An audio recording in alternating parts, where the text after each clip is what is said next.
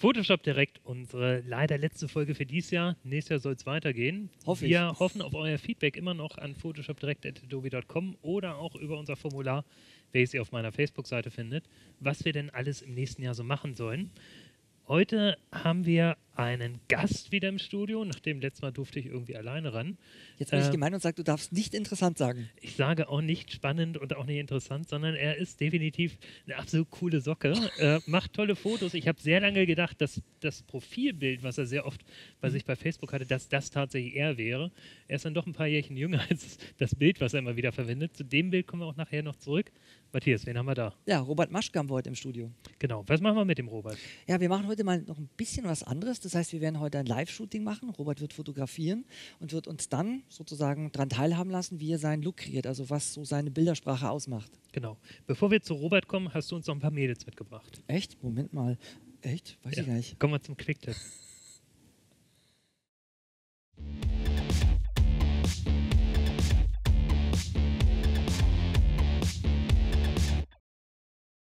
Was habe ich heute bei dem Quicktip für euch mitgebracht? Nun, heute geht es um Porträtshots. Und bei dem Bild, was ich jetzt hier gerade aufgemacht habe, ist es so, dass ich die Tiefenunschärfe hier noch verstärken möchte. Natürlich gibt es wie immer in Photoshop tausend Wege, das zu tun. Ich zeige euch hier mal einen sehr, sehr einfachen Weg. Was mache ich? Nun ganz einfach. Ihr könnt hier auf Auswahl gehen und jetzt gibt es hier die Funktion Fokusbereich. Das ist ja eine von den Funktionen, die wir mit dem Creative Cloud Release von Photoshop eingeführt haben. Ruft es auf und jetzt kann ich hier in diesem Dialog festlegen, welcher Bereich jetzt hier ausgewählt werden soll. Ich habe das jetzt in der Vorschau dargestellt, indem ich gesagt habe, auf Schwarz setzen und kann mit diesem Schieberegler jetzt im Fokusbereich einstellen, was sozusagen hier ausgewählt werden soll. Jetzt nehmen wir hier vielleicht mal das Gesicht und die vordere Schulter mit rein, drehe den Wert hier mal ein bisschen runter und da belassen wir es dabei. Jetzt ist natürlich der nächste Punkt, wir wollen eine weiche Maske haben. Was kann ich tun? Nun, es gibt hier die altbekannte Funktion Kante verbessern. Das heißt, ich klicke hier einfach drauf und jetzt können wir Feintuning betreiben. Das heißt, ich kann also sagen, die Kante soll abgerundet werden. Wir wollen entsprechend eine weiche Kante haben, dass es ein weicher Übergang ist und wir können die Kante entsprechend eben hier verschieben, dass wir also sagen, ein bisschen mehr oder ein bisschen weniger rein. Last but not least, ganz wichtig hier, was möchte ich haben? Ebenenmaske oder ich möchte eine neue Ebene mit Ebenenmaske haben. Ich sage also hier neue Ebene mit Ebenenmaske und sage entsprechend okay. Das Ganze, wie man sieht, hat er jetzt sauber gemacht. Ich drehe jetzt einfach die Maske hier entsprechend um. Die untere Maske schmeißen wir einfach mal weg, die brauche ich jetzt nicht mehr. Und jetzt können wir hergehen und sagen, okay, diesen Bereich, diese Unschärfe, die hier sehr unschön aussieht in den Haaren, die möchte ich weichzeichnen. Ich gehe also ganz einfach rein und sage, Weichzeichnungsfilter, nehme jetzt hier einfach mal den Gaußschen Weichzeichner, nehme einen starken Wert von 20 Pixeln und das Ganze ist fertig. Das heißt also für euch hier ein sehr, sehr einfacher Weg, Tiefenunschärfe reinzubringen und zwar basierend auf dem, was man tatsächlich im Bild vorfindet. Ich muss also hier keine Maske malen, sondern Photoshop nimmt das, was er im Bild vorfindet, raus und ich kann es verwenden, eben wie bei dem Beispiel, um das Ganze weich zu zeichnen. Probiert es einfach aus. Funktion nennt sich Fokusbereich und kann man super eben für solche Porträts verwenden.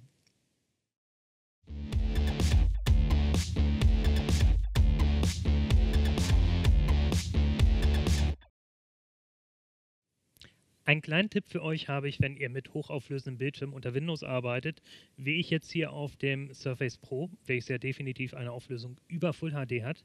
Bei Lightroom sieht das Ganze schon gut aus, da muss ich nichts extra einstellen. Bei unseren anderen Applikationen, bei Photoshop und Illustrator, gibt es da zwei kleine Tricks. Zunächst einmal schauen wir uns natürlich Photoshop an. Das ist jetzt hier die normale Auflösung. Das ist definitiv auch mit meinen Ende 30 schon etwas, wo ich sagen würde, Lesebrille kommt bald. Ihr könnt es aber schnell ändern, indem ihr hier auf die Voreinstellungen geht und dort die experimentellen Funktionen aktiviert. Hier findet ihr die 200% UI-Skalierung für High DPI oder HD-Displays.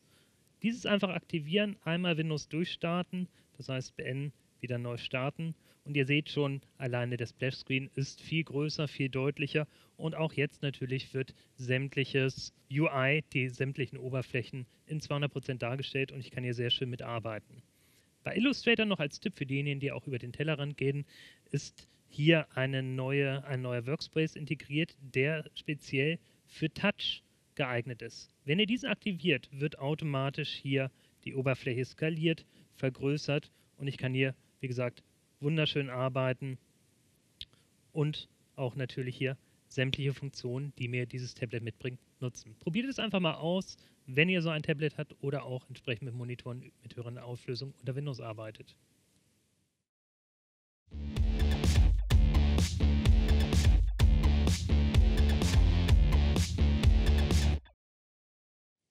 Wir haben es uns gemütlich mit Robert auf der Couch gemacht.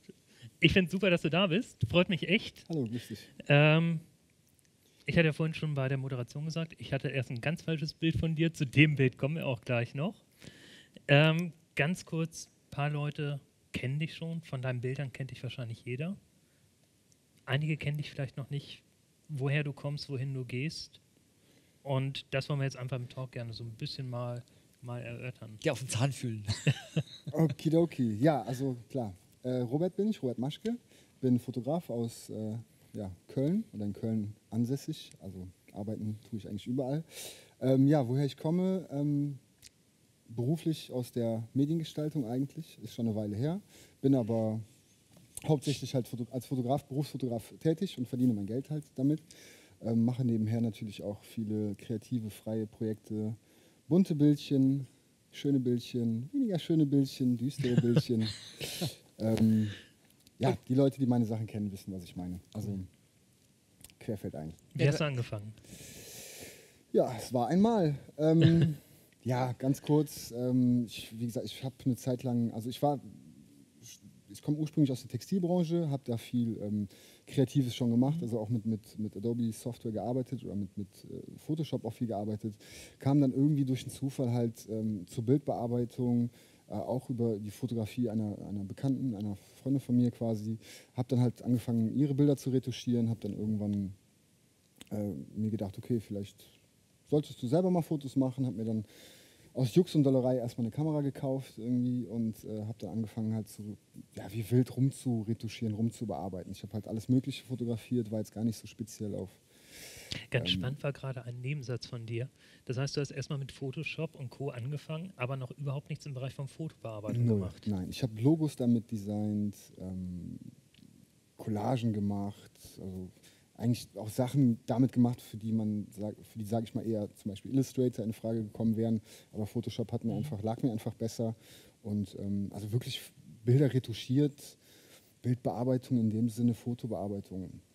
Das heißt, du hattest eine, eine, ideale Grundlage, um dann sozusagen komplett durchzustarten, ohne noch sozusagen Handwerk von Photoshop ja, lernen zu müssen. Ja, also klar, hätte ich jetzt, also ich gebe ganz ehrlich zu, meine Fotos, äh, vor allem auch, vor allem die ersten Bilder, ähm, ich glaube, die hätten ohne Photoshop jetzt auch keine Chance gehabt. Also da bin ich offen und ehrlich, also ich bin jetzt nicht äh, der super talentierte äh, äh Fotograf äh, an sich äh, gewesen. Also mittlerweile habe ich auch ein bisschen, was das fotografische Know-how an sich angeht, ein bisschen natürlich dazugelernt oder dazulernen müssen auch, aber ganz klar in den ersten Schritten war das auf jeden Fall so ein bisschen mein, kleiner, ja, meine kleine Hilfe auf jeden Fall, dass ich ja schon das eine oder andere konnte. Du hast uns erzählt, es gab so, so ein, ja, wie sagt man, compelling Event, so ein Meilenstein, wo du in die Fotografie eingestiegen bist und eigentlich auch erfolgreich damit warst. Das war, du hast einen Freund fotografiert. Ja, ähm, zu der Zeit, also das kurz nachdem ich mir diese Kamera gekauft hatte, ähm, wollte ich natürlich auch wie wild fotografieren, wusste halt nicht, was ich fotografieren sollte, deswegen irgendwas fotografiert. Ähm, hatte dann aber auch irgendwie mal Lust, Menschen zu fotografieren. Mhm. Und damals war da halt nicht irgendwie jeder scharf drauf, so wie das heute ist halt. Ne? Also Prä-Facebook-Zeit. Prä ja, genau. Also in den Zeiten die, die, der Selbstdarstellung wie heute ist das weniger schwierig, aber früher, ja, nee, Fotos, nee, komm, lass mich damit in Ruhe. Ähm, das war so immer die meiste Antwort, die häufigste Antwort, die man bekommen hat. Und, ähm, Kann man sich heute gar nicht mehr vorstellen. Kann man sich nicht mehr vorstellen. Wir müssen definitiv noch ein Selfie machen. Martin, Einmal bitte schnell. Das einmal bitte schnell. Überleitung. Komm, wo, wo wir gerade dabei sind. Jetzt, muss das, das hätten wir jetzt nicht sagen sollen. Ich wusste, das, denn sein? ich wusste muss wieder, dass das das kommt. Bitte so, keine Fotos. Einmal. Hey. Duckface. Duckface? Ich glaube, ich hatte die Augen zu. Duck Hunter. Mal schauen, was bei raus wird. So, so weit ist gekommen, ne? Können wir auf Roberts Facebook-Seite dann sehen. Roberts Facebook-Seite blenden wir gerade unten ein. Bin ich mal sehr gespannt, was bei rauskommt. Ja. Aber du hast uns das Bild sogar mitgebracht. Lass uns das ähm, kurz mal Ja, habe ich. Äh, genau. Also das war ein äh, Freund von mir. Mhm. Ähm, der Daniele, schöne Grüße übrigens. Ähm, einer meiner besten, langjährigsten Freunde auf jeden Fall. Den wollte ich unbedingt fotografieren. Äh, ne, das war so der, das Charaktergesicht, das mir immer direkt äh, eingefallen ist, wenn ich irgendwie an meinen Bekanntenkreis gedacht habe. Ja, aber so krass ausdrucksstark sein Gesicht ist, so introvertiert ist er halt auch und er hatte gar keinen Bock drauf. Er hatte gar keinen Bock drauf. Ich habe gesagt, komm, lass uns doch mal Fotos machen. Nee, hau mir ab mit deiner Kamera, hieß es eigentlich nur. Und dann habe ich mir halt irgendwann gedacht, okay, ich muss mich vielleicht ein bisschen äh, ja, aufs Kreuz legen. War ein bisschen link, aber gut. Ähm, ich habe dann halt eines Abends gesagt, so, hm, unverbindlich angerufen, hey, was machst du? Lass uns doch ein bisschen abhängen, chillen, wie man ja heutzutage sagt. Ja, klar, kein Thema. Und ähm, ja, dann habe ich halt ähm, ein paar Bier eingepackt, unter anderem auch eine Kamera und eine Blitzanlage und dies und das und jenes, was ich mir vorher noch besorgt habe, aber habe es ihm halt nicht gesagt. Und ähm, ja, ich bin dann halt hingefahren zu ihm. Wir haben uns kurz äh, ein paar Bierchen getrunken, die Stimmung war irgendwie ein bisschen entspannter, er war entspannter. Und dann habe ich ihn halt überredet, ähm, dass wir Fotos machen. Und er meinte, ja cool, können wir machen die Tage. Er hat aber nicht damit gerechnet, dass ich das mhm. schon dabei habe halt. Ne? Und dann, ja, und dann bin ich kurz zum Auto, mit Sack und Pack zurückgekommen, habe da aufgebaut und rumgeblitzt und rumgeknipst wie der Wahnsinnige, weil ich hatte Ahnung von nichts keine Ahnung von Verschlusszeiten, von Lichtformern, gar nichts. Aber? Das sieht man halt auch. Naja, ja, gut, aber ne? es gibt, so es gibt äh, andere Ergebnisse, die ja, dabei rauskommen können. Wenn man so ein bisschen genau hinguckt, äh, also die Lichtreflexionen in den Augen und so, die sind jetzt nicht so optimal, da, da merkt man halt, ich habe ich glaube, du willst nicht unsere ersten Bilder sehen. Eben. Aber, okay. aber, du hast uns tatsächlich erzählt, es war nicht nur, sagen wir mal, jetzt so erster Meilenstein, sondern die sind auch wirklich irgendwo gefeatured worden. Die waren in, genau, in, das Magazin. Auf genau, also es war jetzt auch nicht so, dass ich meine Bilder gesehen habe und habe gesagt, boah, super, super, ne? ich bin der Held, sondern ähm, nein, ich hatte die dann halt ähm, veröffentlicht im Netz in, in, diversen Foren, unter anderem bei Chip. Mhm. Und die hatten mich dann irgendwann angeschrieben, ja, wir würden gerne das Foto veröffentlichen, dies und auch ein anderes aus der Strecke, aus der Serie. Und ähm, ja, und das Bild ist, glaube ich, sogar, es kam irgendwie in einem Jahr unter die besten fünf Bilder des Jahres. Aha. Und das war dann für mich ein Feedback, was gesagt hat, okay, es kann jetzt. gar nicht mal so schlecht sein, genau. was du da machst. Ja. Ähm, bleib da mal am Ball. Und ähm, ja, abgesehen davon hat es mir halt auch dein Hund, dein Hund, Hund. hier, ja.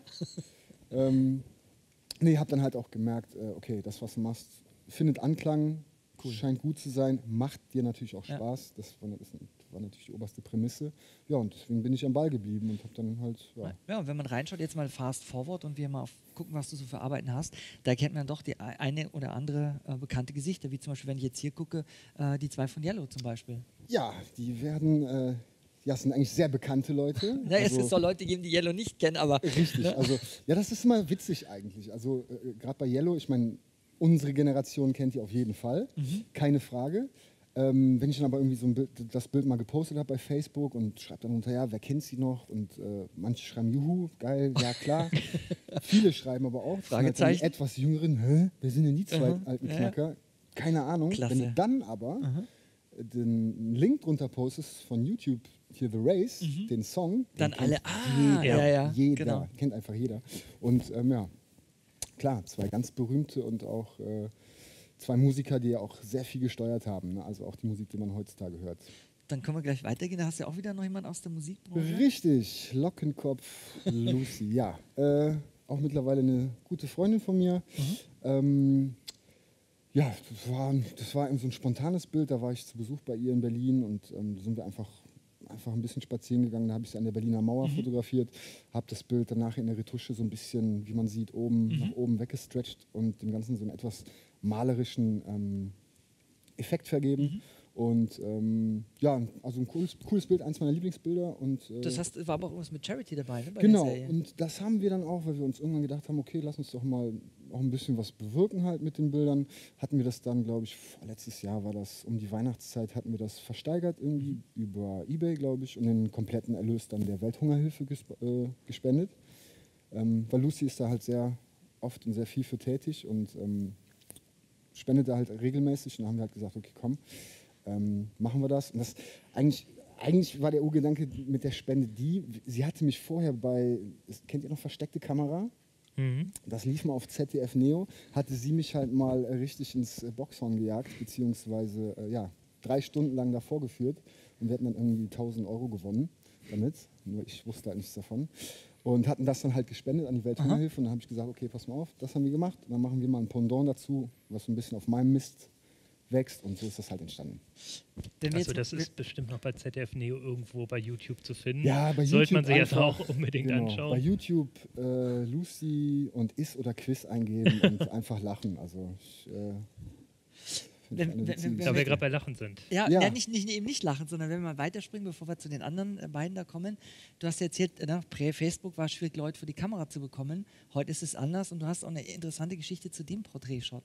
Ne? Ich, ich meinst- sag, das war der Mann der Bushaltestelle. Der Mann, der Bus, der Mann, der Bus fährt. ja, oder der Mann, der Bus Ja, fährt. das war finde, ein- das super eine der Also, meisten, Kommen- eines der meisten Kommentare. Ja, ich muss öfters Bus fahren. ähm, ja, das ist Ivo. Äh, Ivo ist ja in der Tat, ja, würde ich halt auch sagen, so eins meiner bekanntesten Bilder. Mhm. Ähm, eins auch meiner liebsten Bilder und auch meiner liebsten Geschichten halt. Das war irgendwie, ähm, also ich bin jetzt generell, vielleicht auch aufgrund der Tatsache, dass früher die Leute keinen Bock hatten, fotografiert Mhm. zu werden, auch jemand, der jetzt auch nicht sagt, ich spreche jetzt irgendwie Leute auf der Straße an und äh, sage, ey, ich bin Fotograf und hast du nicht mal Lust? äh, nicht? Nee, irgendwie nicht. Okay. Irgendwie nicht. Also ich, ich stelle mir dann immer so ein bisschen die, die, die, die, die andere Seite vor, wenn ich jetzt irgendwie auf der Straße äh, spazieren gehe und irgendeiner kommt an und sagt, ey, du siehst gut aus. Ey, kann ich dich mal fotografieren? Ich, ich also ich sogar Geh weg, ich würde sagen, geh weg. ja komm, geh mal bitte ganz schnell weg, weil äh, ne? ich weiß nicht. Ich finde, das ist immer so eine, also ich, es ist erstens ist es immer eine Grenze. Also fotografieren, fotografieren und fotografiert zu werden ist immer was, das ist irgendwas, da ist irgendeine Magic, finde ich. Und das kann man, das ist halt schwierig, wenn man halt damit spielt, finde ich. Also so sehe ich es halt. Und ähm, naja, aus dem Grund mache ich es halt auch selber ungerne. Was mich halt, was hat auch ein bisschen was mit Scheu zu tun. Ich bin jetzt auch nicht derjenige, der, der einfach immer auf wildfremde Menschen äh, zurennt. Also manchmal bereue ich es auch. Also ich habe schon hier und da auch mal ein Gesicht gesehen, wo ich dachte, okay, hättest du doch besser was gesagt. Aber ist halt so, naja, bei ihm war es halt, ich war einfach gut drauf an dem Abend, hatte irgendwie ein paar erfolgreiche Termine hinter mir an dem Tag und ähm, sah ihn halt abends an der Bushaltestelle, das war irgendwann Anfang des Jahres, 2000, was haben wir denn mittlerweile? 14. 14, boah, das war 2011 war das, glaube ich. Ja, und habe ihn dann also gesehen. Er stand halt neben mir und wir sind irgendwie zusammen in den Bus eingestiegen und sind dann irgendwie ins Gespräch gekommen über den Busfahrer, weil irgendwas mit Ticket war, irgendwelche Probleme, keine Ahnung. Und dann habe ich halt angefangen mit ihm ein bisschen zu quatschen. Und dann habe ich mir irgendwann gesagt, ja, hey, hör mal, ich bin Fotograf, hättest du nicht Lust, mich zu fotografieren? Und seine Reaktion war erstmal auch so, Bitte was? Ne? Obwohl wir schon irgendwie ein ganz anderes Gespräch angefangen haben. Habe ihm dann mal ein Kärtchen gegeben und hatte aber auch mein iPad dabei und konnte ihm ein paar Bilder zeigen. Ja, und zwei Tage später hat er mich dann angerufen und äh, kam vorbei. Wir haben dann diese Fotos gemacht. Wir haben, was heißt, wir haben im Endeffekt, wir haben vielleicht fünf oder sechs Fotos gemacht. Wir haben eine halbe Stunde geshootet und bestimmt fünf Stunden gequatscht. Weil wir uns einfach super gut verstanden haben. Die Chemie war einfach auf einer Ebene. Und ähm, ja, und das Lustige ist, seitdem treffen wir uns wirklich jedes Jahr am gleichen Datum, am gleichen Tag, gehen zusammen ein Bierchen trinken und quatschen und ja haben immer klasse. wieder regen Aha. Kontakt. Und äh, ja, weil er ist halt, er ist von dem Bild fasziniert irgendwie auch. Weil er meint, es zeigt ihn halt irgendwie, ja, wie er sich selber nicht gesehen Womit hat. wir das Bild jetzt hätten, wo ich dich anfangs verwechselt hatte. Genau. Aber ich glaube, ganz so siehst du noch nicht aus. Nein. Ja, ja, Ja, ich meine, ist ein attraktiver Mann. Ist jetzt nicht so, dass man nicht Vielleicht, gerne damit vielleicht verwechselt der wollen Onkel oder würde. ähnliches. Ja, okay. Danke, aber- dass du mich so jung machst. Mein, d- du machst aber auch ganz andere Sachen, deswegen äh, bin ich so ein bisschen gesprungen. Wenn wir jetzt mal eins zurückgehen, das ist ja so ein ganz anderer Style. Das ist, ich sage Ja. das immer so Grace Kelly-Style. Ja, das ist das krasse Pendant. Ähm, ja, das ist jetzt ein Bild, man jetzt nicht direkt auf Anhieb sagen würde, oh, das ist so ein typischer Maschke. Nee, eben Äh, deswegen. Ne, gar nicht. Ähm, das ist äh, klar, es ist, A, es ist eine Auftragsarbeit. Ähm, B, es ist einfach eine schöne, glatte ja, Frau, einfach hübsch. Ich meine, die würde ich halt ungern auch so charaktermäßig, also so, so, so, So. tiefen Furchen irgendwie darstellen. Das heißt klassisches Beauty-Shooting im Studio. Jein. Da gibt's die- ja, ja, genau. da gibt es halt auch eine witzige Story zu. Also, okay, man sieht, es ist halt eine, es ist eine Auftragsarbeit gewesen, eine kommerzielle Arbeit für eine Friseurkette, ähm, die auch gar nicht mal so klein ist. Ähm, ich will jetzt mal keine Werbung machen, außer ich kriege Geld dafür, aber bekomme ich nicht. So von daher. ähm, ja, es war einfach, äh, sie hatte eigentlich die Idee, also sie hatte irgendwie den Kontakt zu, die, zu, diesem, äh, zu dieser Kette und meinte halt irgendwie, ähm, ja, hast du nicht Bock, irgendwie dieses Bild nachzustellen? Ich glaube, das war auch ein Bild von, von Grace Kelly. Und habe gesagt, okay, komm, lass uns das machen. Und sie hatte mir das Foto gezeigt und ich habe halt die, die Anmutungen halt so ein bisschen gesehen vom Licht und habe halt gesehen, okay, pass mal auf, das können wir halt nicht bei mir im Studio machen. Ähm, weil, also ich habe, man ich komme super klar in meinem Stu- Studio, nur was ich in meinem Studio halt nicht habe, ist Tageslicht. Ja. Ne? Also das ärgert mich halt manchmal auch ein bisschen, aber ist halt zurzeit nicht vorhanden oder zu der Zeit nicht vorhanden gewesen. Ja, also haben wir es gemacht, ähm, ja, bei ihr zu Hause. Ich habe sie halt gefragt, äh, ne, wie wohnst du, Sonnenseite, dies, das. Und ja, sie hatte optimale Bedingungen, einen Balkon. Ähm, haben dann einfach das, das Sonnenlicht äh, äh, genutzt, von links ein bisschen aufgehellt mit einem Sunbounce, mit einem Aufheller. ja, und haben das dann einfach bei ihr auf dem Balkon gemacht. Das Witzige ist halt, äh, ne, sie hatte auch kein Kleid an eigentlich in dem Sinne. Das war irgendwie ein Stück Stoff. was Aber wir es dann, sieht echt super aus. wir, wa- ja, was wir drum gewickelt Ja. haben, das wurde dann in der Mitte irgendwie verknotet. Und ähm, ja, eigentlich eine totale Low-Budget-Produktion, aber mit einem, mit einem sehr tollen Ergebnis, also wie ich finde. Ähm, es sind auch so Bilder, wo ich sage, okay, das ist ein sehr tolles Ergebnis, weil es es war für mich, ist für mich halt eine Aufgabe, die ich hatte. Das Bild soll so und so aussehen und das habe ich dann bestanden. Und deswegen kann ich halt sagen, okay, das ist halt ein tolles Ergebnis. Ich würde jetzt so Ja. meinen künstlerischen Sachen eigentlich nie sagen, okay, das ist ein tolles Ergebnis, weil ich damit zufrieden bin. Und wenn man jetzt mal guckt, deine, deine Arbeiten werden ja auch äh, unterschiedlich verwendet. Also wenn wir jetzt dieses, dieses Boxer-Shooting mal anschauen. Boxer-Shooting, das Genau. ist ja nicht irgendwer, ne? Nee, äh, der Name ist mir leider entfallen. Du musst mir helfen. Felix. Felix. Felix. Äh, ja, soll ich schon mal nachschauen? Ja, Felix Sturm. Sturm, genau. Und super Shot, aber wir können auch gleich hier drauf gehen. Ja. Das heißt, deine Arbeiten werden ja dann unterschiedlichst auch verwendet. Also nicht nur jetzt in Magazinen, sondern eben auch auf Billboards und Außenwerbung. Ne? Genau, also gerade bei so kommerziellen Sachen, also bei Werbeschüssen, ich habe leider nur ein etwas kleineres Foto Ja, aber man sieht es dann schon. ne? Das wird Aber sind richtig halt so- flächendeckend eingesetzt. Genau, das, das war halt deutschlandweit irgendwie an den ganzen großen Autobahnen. Ähm, an diesen Blow-Ups äh, wurde das verwendet. Ich glaube, das war ein Bild, also ich glaube 30 Meter breit oder 20 Meter breit, also wirklich nicht gerade klein. Ähm, ja, und wenn man das halt sieht, Schon fett. wenn man dran vorbeifährt, das ist schon Ja. etwas, wo man dann sagt, okay, Cool. geiles Ding. Äh, ist Wir können, bisschen wir drauf. hier stundenlang weitermachen, stundenlang ja, genau. weiterreden. Ich glaube, man Ich findet Zeit. sehr viele Bilder bei dir auch Auf auf, deiner deiner Seite, ja, Website, genau. auf Ja. dem Portfolio. Ähm, erzähl noch mal ganz kurz, wir hatten, wir hatten von Lucy gesehen, wir hatten Yellow gesehen. Äh, ich sehe hier noch äh, Hugo Egon Balder. Thema Promi-Shooten. Es ist schwieriger, an prominente A ranzukommen als Kunde, als auch B, sie tatsächlich zu fotografieren. Oder einfacher, weil sie es eh gewohnt sind, vor der Also, Kamera zu stehen. ich trainiere immer mit meinem Lieblingspromi eigentlich. Goldberg. Komm mal her. Von dem kann man eigentlich das meiste lernen. Kriegt man nämlich immer mit Leckerchen. Das kriegt man nämlich Promis auch. Echt? Kriegen die bei den Ja. Hundekekse? Nee, aber gut für Fotos. ähm, ja, eine ganz schwierige Frage. Also ich äh, wurde auch auf der Fotokina oft danach gefragt, ähm, ja, was denn so die Tipps wären und ähm, ja, wie kommst du da ran? Und es gibt auf jeden Fall keine, keine, äh, keine Formel. Also ausschlaggebend ist natürlich erstmal grundlegend die Qualität. Deine Arbeit muss natürlich auch stimmen. Also wenn du scheiß Fotos machst, auf gut Deutsch, dann kriegst du auch kein bekanntes Gesicht vor die, vor die Linse. Hm? Schmeckt's? Ähm, du brauchst natürlich, ähm, also ich glaube, warum halt, warum ich öfters äh, Prominente fotografiere oder warum sie auch gerne mit mir zusammenarbeiten, hat, glaube ich, auch viel damit zu tun, wie ich halt auch mit ihnen umgehe. Also ich glaube, viele Menschen haben das Problem. Ich hatte, muss ich zugeben, beim ersten Mal auch so ein bisschen das Problem, dass du die Leute halt oder dass die, dass die Leute halt einfach nicht, dass du sie anders behandelst einfach. Ne? Du kennst sie halt nur aus Film und Fernsehen und dann ist dann, ist dann schon so ein etwas anderes Gefühl halt. Und ich glaube, ähm, viele haben halt das Problem, dass sie das halt auch nicht trennen können. Und wenn sie dann solchen Leuten, solchen Leuten, das hört sich immer so an, als wären es irgendwie andere Menschen, aber Prominenten halt gegenübertreten, dass sie halt ähm, ihr Verha Verhalten ändern. Ja. Und ich glaube, das, das ist etwas, womit die, womit Prominente halt, prominente Personen halt gar nicht so gerne zu tun haben, sondern sie mögen es halt einfach genommen zu werden, wie sie sind. Und weil sie sind halt auch, wie sie sind, sie sind wie du und ich. Und ich glaube, das ist so ein bisschen das, das Geheimrezept. Und ich glaube, das spricht sich dann halt auch rum. Und das erzeugt auch dann wiederum gute Fotos. Weil es, du kannst halt mit einem Prominenten, klar hat er immer so sein Best Face, weil er hat es trainiert. Aber von einer, von einer prominenten Person, die halt regelmäßig vor der Kamera steht, ein geiles Foto zu machen, was ein ehrliches Bild ist, was ein bisschen abseits ist von dem, was sie sonst liefert, ähm, ist immer ein Beweis dafür, dass diese Person dir auch gut vertraut. Und, ähm, Ich denke, hier sehen sehen wir halt auf jeden andere. Fall ein ehrliches Bild. Hat es lang gedauert, zu Ja. dem Shot zu kommen? Ja, der Hugo. Ähm, ja, Hugo war ein bisschen, äh, äh, ja, es war eins meiner längsten Shootings. Ich glaube, äh, sage und schreibe 30 Sekunden. Ist? Ähm, es war wirklich richtig kurz. Also er hatte mich angerufen, ähm, er brauchte halt irgendwie ein Foto für sein Cover, für eine CD.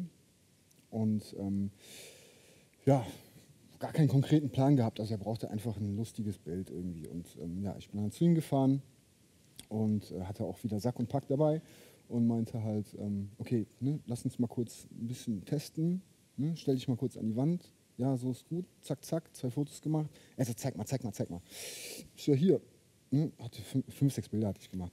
Super, super, super, super, super, danke, nehmen wir.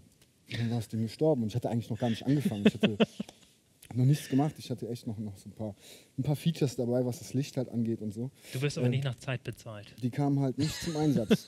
nee, zum Glück nicht. Stimmt, zum Glück nicht. ergebnisorientiertes Arbeiten. Ja, also das ist, äh, manchmal dauert es auch länger. Also es gibt Ja. natürlich auch Jobs, die gehen dann äh, 8, 9, 10, 11, 12. Ich glaube, der längste waren 16 Stunden, Boah. Ah. auch ohne Pause. Das ist dann auch nicht mehr so gesund. Aber ähm, ja, manchmal ist es so, manchmal ist es so. Mhm. Ne, bei Felix Sturm hatte ich auch, ich glaube, effektive Shootingzeit waren 23 Minuten. Ja, Wahnsinn. Ja, das ist schon. Lass uns hier nochmal schauen. Du hast gesagt CD-Cover, da hast du auch bestimmt das Ergebnis dabei. Yes, da, genau. Mhm. Da sieht man auch, es wurden noch zwei Fotos verwendet aus der Strecke. Mhm. Einmal das, was ich eben gezeigt habe. Und ähm, dann nochmal ein anderes. Also auch gar nicht großartig bearbeitet. Das Prima. ist auf jeden Fall ein sehr ehrliches Bild. Ja. ja, gut, er ist jetzt auch nicht so, war jetzt auch nicht so schwierig zu fotografieren. Hugo ist ja, der macht das ja von seit Jahren schon, also seitdem ich auch denken kann. Ja. Ich sag nur Tutti Frutti. Genau. Ähm, Für die, für die ältere Generation. genau, für die etwas ältere Generation, da war er schon dabei. Ist ja ein alter Hase im Showgeschäft, sage ich mal, und deswegen nicht so schwierig. So, Robert. Jetzt haben wir einen Anschlag auf den Robert vor, ne? Sven. Ja, also ich würde sagen, auf jeden Fall mein Anschlag wäre, ich hatte es gerade schon gesagt, wir könnten hier noch Stunden sitzen. Mhm. Ich würde sagen, wir führen mal wieder eine ganz alte Tradition an. Wir machen einen extra Sofa-Talk. Das Genau. heißt, wir machen jetzt erstmal unsere Show zu Ende. Danach setzen Okay. wir uns nochmal aufs Sofa und danach klönen wir einfach ein bisschen weiter. Wir lassen die Kamera für euch laufen und schauen mal, ob wir es nachher online stellen können oder ob YouTube es eh zensieren wird. Also insofern, äh, darüber erfahrt ihr mehr. Anschlag haben wir auf jeden Fall. Wir hatten gesagt, wir wollen dich auch mal in, in Action sehen, gerade mit deinen Charakterporträts und wirklich mal von A bis Z. A bis Z heißt nicht irgendwie fertig, irgendwie Model vorbereitet, Shoot, nur noch Bearbeitung, Mhm. sondern wir fangen mal mit dem Shooting an. Gut, Kamera hast du dabei? Kamera habe ich dabei, äh, Modelle habe ich auch dabei. Ich äh, muss noch mal schauen, wen ich denn hier gleich aus dem Team aussuche. Und ansonsten, Goldberg ist auch ein super dankbares Gesicht, ähm, nein, äh, Ja, cool. eigentlich habe ich alles dabei, können wir auch gerne starten. Ich glaube, wir haben ja auch sicherlich das ein oder andere Spielzeug hier, womit wir äh, da etwas bewerkstelligen können. Und ähm, Ich glaube, der Matthias sucht schon lange ein neues Profilbild für Facebook. Ja. ja, okay, gerne, Cool. Dann starten wir mal. können wir machen. Also, los Auf geht's. geht's. Auf geht's. Aha.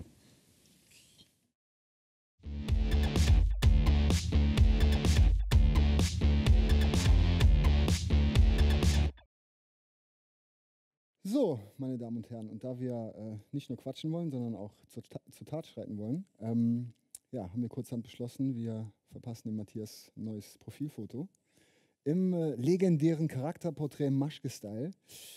Ja, okay, ein bisschen übertrieben, aber naja. Ja, auf jeden Fall zu sehen ist äh, relativ einfaches äh, Lichtsetting hier. Also wir haben links und rechts zwei dunkle schwarze Wände. Ich nehme auch gerne Styroporplatten, die ich einfach schwarz bestrichen habe, mit schwarzer Farbe. Ist etwas, was äh, jeder im Baumarkt findet und äh, ja, wie gesagt, nicht viel, äh, bedarf nicht viel äh, an Investitionen, was das Finanzielle angeht. Ein Hocker, einen handelsüblichen, den findet man auch überall. Man kann das natürlich auch im Stehen machen, aber wir machen es heute im Sitzen. Und ja, natürlich äh, mein äh, liebstes aller äh, Utensilien, was ich halt immer wieder gerne benutze und auch äh, propagiere, womit ich auch äh, wirklich angefangen habe. Das war mein erstes Spielzeug für 2,99 Euro oder 3,99 Euro. Ist halt ein ganz normaler Faltreflektor ähm, zum Aufhellen. Und zwar einfach deswegen, aus zwei Gründen. Einmal, wir arbeiten hier mit einem relativ harten Licht von oben, also aus einem harten Winkel, der ähm, dafür halt sorgt, dass das äh, sehr viele böse, böse Schatten in, ins Gesicht fallen, von oben nach unten. Und dem wollen wir ein bisschen entgegenwirken, indem wir einfach den Aufheller äh, in der Höhe halten. Genau. Das Coole ist aber, ich werde ihn nicht halten, er wird ihn halten. Ja, jetzt, ne? Tu mal ein bisschen was für dein Geld. So. Ja, das erklären wir gleich. Es hat zwei Vorteile. Einmal, ähm, ja, die Schatten verschwinden halt, beziehungsweise werden ein bisschen äh, abgemildert. Das ist der erste Vorteil. Und der zweite Vorteil ähm, ist einfach die Reflexion in den Augen. Also es ist ähm, einfach, es bringt dem Ganzen einfach ein bisschen mehr Leben ähm, und mehr, ja, mehr Glanz in die Augen, genau, richtiges Wort. Und ähm, ja, das sorgt einfach dafür, dass das Bild ein bisschen lebendiger wirkt und ein bisschen mehr äh, ja, Flair bekommt. Oder keine Ahnung, mir fehlt gerade das Wort. Ist ja auch wurscht, ich will auch gar nicht so viel erzählen. So, ready? Bereit? Oder brauchst du noch ein Prosecco? Ja, kann man- ja, okay, alles klar. Dann fangen wir mal an. Also, wie gesagt, straight, Ganz locker, relativ emotionslos, konzentriert, einfach durch die Linse schauen, durch die Zähne atmen. Okay.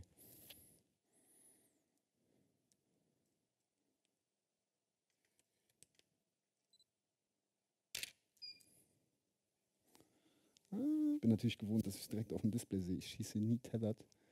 Aber ah, sieht schon ganz gut aus. Versucht mal, geh mal bitte mit dem Oberkörper ein bisschen nach vorne.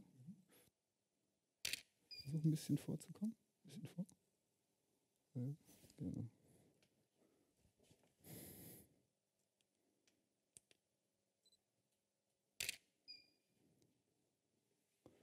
Ja, siehst du schon, äh, ja, böse, böse aus. Okay, wir machen noch zwei, drei. Aber wir haben schon, glaube ich, ganz gutes Material dabei. Vielleicht haben wir noch Zeit für das ein oder andere Model. Ja, warum nicht? Kinn ein bisschen runter. Okay. Gut.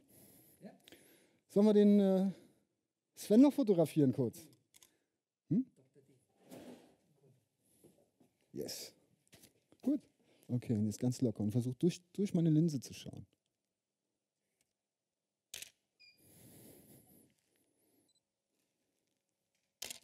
Mach dich mal komplett locker. Kinn ein bisschen runter. Okay, that's it. Das war's auch schon. Hat's wehgetan?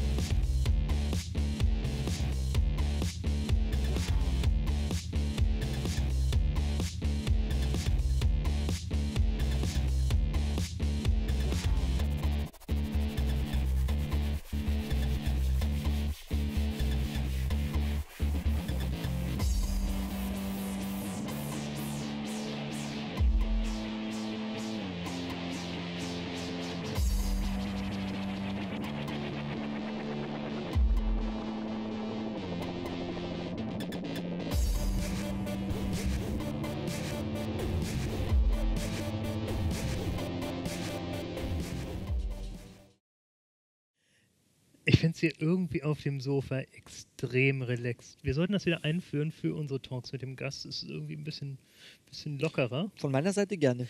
Wir haben einiges mitgenommen. Wir haben die Tipps vom Robert mitgenommen. Ihr habt hoffentlich auch unsere Tipps mitgenommen. Wir nehmen ein paar schöne Fotos mit nach Hause. Mhm. Äh, fand ich sehr genial, dass wir jetzt auch dort diesen Style haben. Ein paar von den Ergebnissen werden wir auch noch entsprechend dann auf Facebook posten.